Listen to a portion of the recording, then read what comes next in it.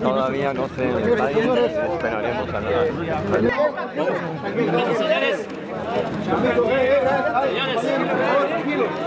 El presidente, ¿qué opina de su captura? ¿Alguna anomalía en el caso transurbano? señores, Bajan, bajan el teléfono un poco, Juan Víctor. ¿Usted se arrepiente por haber traído la cita ¿Con la firma? Y ahora que lo cap-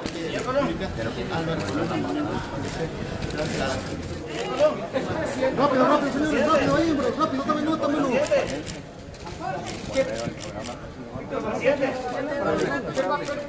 Sí, ahorita lo están. Ya lo tienen, ya lo tienen nosotros. Pasen adelante. Pásenlo.